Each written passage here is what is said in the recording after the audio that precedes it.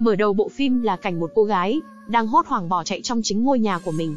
Cô ta bị một sinh vật đáng sợ truy đuổi. Nó có hình dạng như một con nhện khổng lồ với tay chân đen xì. Cô gái cuống cuồng chạy vào trong một căn phòng, nhìn thấy trên giường có ai đó đang nằm. Khi đến gần, cô phát hiện đó lại chính là mình. Lúc này con nhện từ bên ngoài xông vào. Cô gái giật mình tỉnh dậy, thì ra chỉ là một cơn ác mộng. Cô ấy tên là Jess, dạo gần đây thường xuyên nằm mơ thấy giấc mơ kỳ lạ đó. Chồng của cô là Mark, cả hai vừa mới cưới nhau chưa được lâu.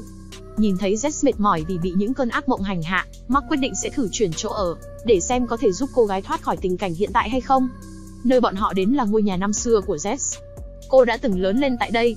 Tuy nhiên sau khi mẹ qua đời, bố thì bị bệnh phải nằm viện, ngôi nhà bị bỏ hoang không có ai ở. Mark có hai đứa con gái riêng với người vợ cũ. Đứa nhỏ là Alice, rất thích Jess và luôn gần gũi quấn quýt với cô. Ngược lại đứa lớn là Taylor, không thích gia đình cũng như ngôi nhà mới này. Jess mặc dù vậy vẫn vui vẻ, cho rằng cô bé có thể cần thêm thời gian. Sau khi chuyển về ngôi nhà cũ của mình, Jess lại tiếp tục quay về bán mình cho tư bản. Cô là một họa sĩ truyện tranh, chuyên vẽ những tác phẩm kinh dị nổi tiếng. Hôm đó, khi đang ngồi vẽ tranh trong phòng, bỗng cô bé Alice bước vào và muốn cô cùng chơi trốn tìm với mình. Jess liền đồng ý vì muốn có thời gian để kết thân với cô bé nhiều hơn. Trong lúc đang tìm chỗ trốn, bỗng Jess có điện thoại từ công ty, bèn ra ngoài để bắt máy. Lúc này Alice ở trong nhà, vẫn đang đi xung quanh để tìm Jess. Chợt nghe thấy một giọng nói lạ phát ra dưới tầng hầm. Cô bé mở cửa bước xuống bên dưới, tìm thấy một con gấu bông với hình dáng dễ thương. Nghĩ rằng là đồ chơi năm xưa của Jess, cô bé liền mang nó về phòng của mình. Một lát sau, Jess vào nhà thì nhớ ra Alice, bèn vội chạy đến chỗ cô bé. Alice lúc này bảo rằng mình đã có bạn mới, sau đó nhanh chóng đóng cửa lại. Từ sau sự xuất hiện của con gấu bông, thái độ của Alice càng lúc càng kỳ lạ. Cô bé dành cả ngày chỉ ngồi trong phòng và trò chuyện với nó. Vào ban đêm, Jess nghe thấy tiếng cô bé giả giọng chú gấu, như thể cả hai đang nói chuyện với nhau. Cô nói việc này cho mắc, nhưng anh ta cũng chỉ cho rằng con gái mình hơi tinh nghịch mà thôi. Bọn họ không biết rằng lúc này Alice đã chìm vào giấc ngủ, và giọng nói bọn họ nghe thực chất đang phát ra từ con gấu. Ngày hôm sau trong lúc Jess đang vẽ tranh, Alice bỗng đến tìm và đưa ra một tờ danh sách việc cần làm. Cô bé bảo rằng con gấu bông đã đưa nó cho mình. Nếu hoàn thành toàn bộ bảng danh sách này, con gấu sẽ đưa cô bé đến một nơi vô cùng đặc biệt. Trong bảng danh sách có một mục viết rằng hãy làm một việc khiến bạn hạnh phúc. Jess thấy vậy liền vẽ một quả bóng hình mặt cười và đưa nó cho Alice. Cô không nghĩ nhiều mà tiếp tục làm việc tới tối. Trong lúc đang vẽ, bỗng nghe thấy bên ngoài có một tiếng động lạ. Jess bước ra kiểm tra, phát hiện âm thanh dường như phát ra từ bên dưới tầng hầm. Khi bước xuống, cô tìm thấy quả bóng lúc sáng đã vẽ cho Alice. Tuy nhiên lúc này gương mặt cười của nó đã thay đổi. Jess bèn đi xung quanh nhà kho, phát hiện nơi này có chứa rất nhiều tranh ảnh mà cô đã vẽ khi còn bé. Trong đó có một bức tranh, vẽ một cánh cửa màu xanh dương kỳ lạ. Jess không nhớ mình đã vẽ nó khi nào. Cô sau đó bước lên lầu, đến phòng của Alice thì thấy cô bé đang ngồi nói chuyện với ai đó. Tưởng rằng là con gấu bông, nhưng bất ngờ phát hiện một bàn chân người đằng sau cánh cửa. Jess chưa kịp hoang mang, phía sau cô xuất hiện một cái bóng màu đen đáng sợ. Alice bảo rằng mẹ cô bé đã đến. Bất ngờ từ trong phòng, một người phụ nữ lạ mặt lao ra tấn công Jess. Nghe tiếng động, đứa con gái lớn tay lo vội chạy đến, nhận ra đó là mẹ ruột của mình. Cảnh sát sau đó đã đến đưa người phụ nữ đi. Cô ta là vợ cũ của Mark, bị mắc chứng bệnh tâm thần. Mark không hiểu sao cô ấy lại đến được đây. Trong khi mọi thứ vẫn chưa ổn định thì ngày hôm sau, Mark có việc phải đi công tác xa một chuyến. Anh ta để lại ngôi nhà cùng hai đứa con gái của mình cho Jess. Cô không muốn chồng lo lắng nên cũng cố tỏ ra vui vẻ. Sau khi Mark rời đi, Jess đã một mình lái xe đến bệnh viện để thăm bố. Ông ta bị mắc một căn bệnh nghiêm trọng từ khi cô còn bé, khiến đầu óc không được ổn định. Mỗi khi gặp Jess, ông bố cứ liên tục hét lớn, như thể nhìn thấy một thứ gì đó đáng sợ. Jess dù đã cố gắng tìm hiểu, nhưng vẫn không biết lý do gì khiến bố cô ra nông nỗi này. Trong lúc đó ở nhà, một thanh niên hàng xóm tên là Liam đã ghé qua để gặp Taylor. Cậu ta tỏ vẻ thích thú và muốn làm quen với cô gái. Khi cả hai đang nói chuyện thì Alice bước đến, trên tay cầm một lọ đựng côn trùng mình mới bắt được. Liam nhìn thấy thì liền giật lấy ngắm nghía. Alice tức giận bèn đòi lại và tỏ thái độ không vui. Liam vì thế đã chửi cô bé là đồ tâm thần. Cậu ta không biết rằng việc mình làm đã khiến con gấu bông tức giận. Liam một lát sau đang đi trên hành lang, bỗng nhìn thấy giữa đường có thứ gì đó trùm trong tấm vải. Cậu ta định đến mở ra, bất ngờ thứ bên trong chuyển động, biến thành một con gấu khổng lồ lao đến, khiến Liam suýt chút nữa tè ra quần. Tay lo nghe tiếng động bèn chạy ra nhưng con gấu đã biến mất. Vụ việc sau đó đến tay phụ huynh của Liam. Bà ta phải đích thân qua xin lỗi Jess. Về phía cậu thanh niên, khi nhìn thấy Alice thì vô cùng sợ hãi, không bao giờ dám bén mảng qua đây nữa. Về phía Jess, khi quay trở về phòng làm việc, thì bất ngờ phát hiện bức vẽ của cô đã bị ai đó xé nát. nghĩ rằng đó là do Alice, cô đã đến phòng cô bé để nói chuyện. Nhìn thấy Alice nằm quấn chăn kín đầu, nghĩ rằng cô bé còn thức nên Jess tiếp tục hỏi, thế nhưng không thấy ai trả lời. Chợt nghe tiếng động ngoài sân, Z bước đến nhìn thì phát hiện Alice đang ở bên dưới. Cô hoảng hốt bèn lật tấm chăn, thì thấy bên trong lại chính là con gấu bông.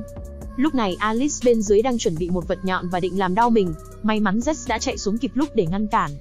Thấy thái độ của cô bé không được bình thường, Z ngày hôm sau đã nhờ một bà bác sĩ tâm lý đến để chẩn đoán cho Alice. Khi được hỏi, cô bé bảo rằng chính con gấu đã yêu cầu mình làm những việc đó. Cần phải làm theo điều nó nói, nếu muốn được đưa đến một nơi đặc biệt. Bà bác sĩ nghe xong vô cùng bàng hoàng. Bà ta sau đó đã kể cho Z về những trường hợp tương tự. Nhiều đứa trẻ được thông báo là đã mất tích, sau khi kết bạn với một con gấu bông tưởng tượng, và được nó yêu cầu làm những việc xấu. Nhiều vụ mất tích đã xảy ra, và những đứa trẻ này không bao giờ được tìm thấy nữa. Nghe đến đây, Jess bèn hỏi về con gấu bông mà Alice hay cầm trên tay. Tuy nhiên bà bác sĩ tâm lý bảo rằng, đó chỉ là thứ được những đứa trẻ tưởng tượng. Bà ta sau đó đưa ra đoạn camera vừa quay lúc nãy. Jess bàng hoàng nhận ra không hề có con gấu nào trong màn hình. Thì ra chỉ có cô và Alice là nhìn thấy con gấu này. Bà bác sĩ cho rằng, có thể lúc nhỏ Jess ở ngôi nhà này, đã từng xảy ra một chuyện gì đó ảnh hưởng đến tâm lý, nên khi bọn họ quay trở về đây, nó đã vô tình ảnh hưởng luôn đến Alice. jess sau đó đã tìm kiếm những bức tranh mình vẽ lúc nhỏ. Cô bàng hoàng nhận ra trong tất cả các bức vẽ, đều có hình của một con gấu bông. Lúc này ở dưới tầng hầm, Alice đã mang con gấu đến một bức tường, và bắt đầu thực hiện một nghi thức nào đó. Một lát sau không thấy cô bé đâu, Jess cùng tay lo vội chạy khắp nhà tìm kiếm. Nhưng khi xuống tầng hầm thì Alice đã biến mất. Trước bức tường có vẽ một cánh cửa màu xanh kỳ lạ. Jess lo lắng nghĩ rằng cô bé đã bị con gấu bắt đi mất, nhưng tay lo không tin vào những thứ ma quỷ, Cô cho rằng em mình chỉ đang đi lạc đâu đó mà thôi. Jess sau đó đã về nhà để tìm thêm manh mối. Trong khi Tay Lo ở bên ngoài, đang đi thì gặp được một bà lão lạ mặt. Bà ta tự xưng là Gloria, là người trông trẻ từng chăm sóc Jess khi cô còn bé. Bà ta sau đó đưa tay lo về nhà của mình và kể cho cô gái nghe tất cả. Thì ra khi còn nhỏ, Jess đã từng có những triệu chứng giống hệt Alice hiện tại. Cô gái cũng kết bạn với một chú gấu trong tưởng tượng, Ban đầu Gloria không tin, nhưng khi thấy con gấu mang Jess đến một thế giới khác, bà ấy mới nhận ra tất cả những gì cô nói đều là sự thật. Gloria sau đó tự mình tìm hiểu thì biết rằng, những người bạn tưởng tượng của đám trẻ con, đa số đều là những thực thể hiền lành tốt bụng. Nhưng cũng có trường hợp ma quỷ giả dạng để trở thành bạn của chúng. Những đứa trẻ này sẽ bị dụ dỗ, ăn sạch tinh thần và trí tưởng tượng, trước khi bị đám ma quỷ này bắt đi vĩnh viễn. Về phía Jess, sau khi về nhà thì phát hiện trên tường phòng của mình có những nét vẽ nguệch ngoạc, bị phai dần theo năm tháng. Cô bèn lấy sơn và màu để tô lại chúng.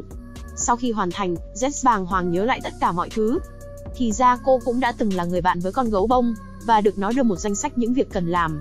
Jess sau đó đã kể lại mọi chuyện cho Taylor cùng Gloria. Cô cho rằng danh sách này chính là chìa khóa. Có thể Alice đã hoàn thành nó, và bị đưa đến một thế giới khác. Nếu muốn cứu cô bé, bọn họ cũng phải làm cách tương tự để đến được nơi này. Jess vì thế đã bắt đầu thực hiện từng mục trong danh sách theo yêu cầu. Trong đó đều là những việc xấu và làm hại bản thân. Tuy nhiên vì muốn cứu Alice, cô gái không ngại liền làm theo. Sau khi tất cả đã xong xuôi, một ngọn lửa màu xanh bất ngờ xuất hiện. Hình vẽ cánh cửa trên bức tường bắt đầu phát sáng, chính là cánh cửa dẫn đến thế giới đặc biệt mà con gấu bông đã nói. Ba người nhìn thấy liền chui vào. Bọn họ vô cùng kinh ngạc khi chứng kiến một không gian kỳ ảo trước mắt. Đây là thế giới của trí tưởng tượng, chính là nơi những đứa trẻ mất tích bị đưa đến. Đi đến một căn phòng, Z vàng hoàng nhìn thấy quá khứ trước đây của mình. Thì ra cô đã từng bị con gấu đưa đến đây, và bị một con nhện khổng lồ truy đuổi. Chính bố của Z là người đã không ngại nguy hiểm đến và cứu cô gái. Tuy nhiên từ sau chuyện đó, đã khiến tâm trí ông bố không còn được bình thường. Jess vì cú sốc quá lớn nên cũng quên tất cả mọi chuyện. Lúc này Gloria bỗng quay trở lại chỗ cánh cửa màu xanh và bất ngờ đóng nó lại. Đó chính là con đường duy nhất để bọn họ quay trở về. Bà lão bảo rằng đây là thế giới mà bà ta mong ước được đến bấy lâu. Bà ấy muốn ở lại đây vĩnh viễn để trí tưởng tượng được bay xa. Vừa nói xong, bất ngờ con gấu bông khổng lồ xuất hiện kế bên, lôi Gloria vào phòng và ăn thịt bà ta trước sự chứng kiến của Jess và Taylor. Bọn họ vô cùng sợ hãi chưa biết làm gì, bỗng có tiếng của Alice gần đó.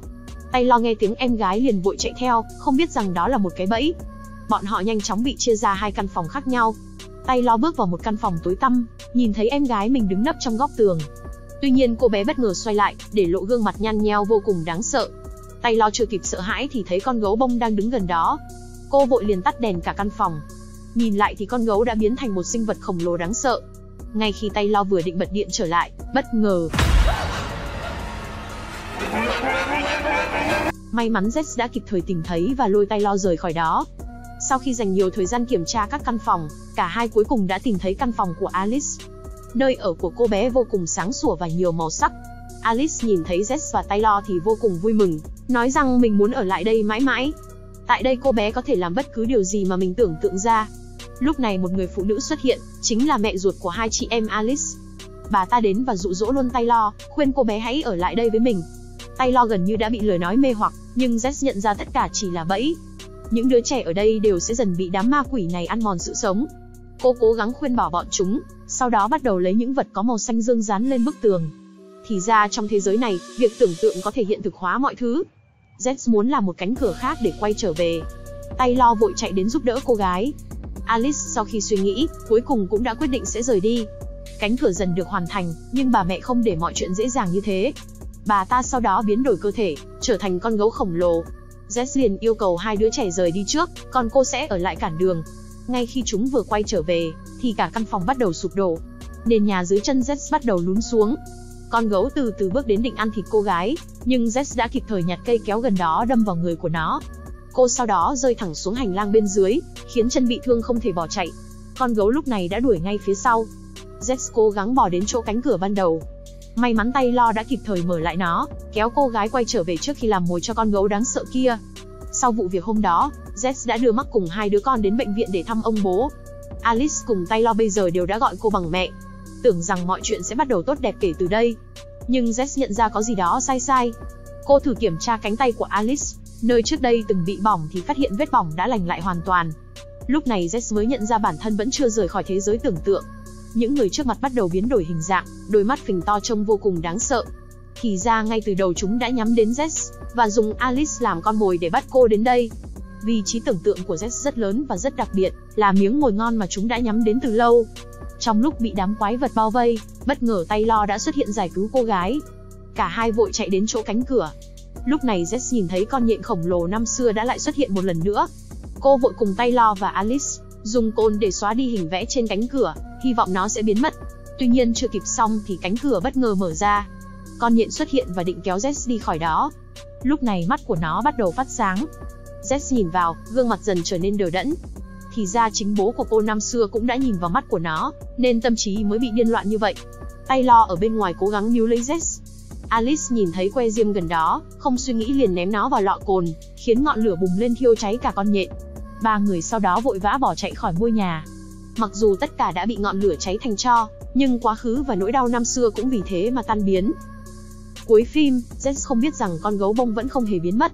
Nó vẫn tiếp tục trở thành người bạn tưởng tượng của những đứa trẻ, và sẵn sàng mang chúng rời khỏi thế giới này.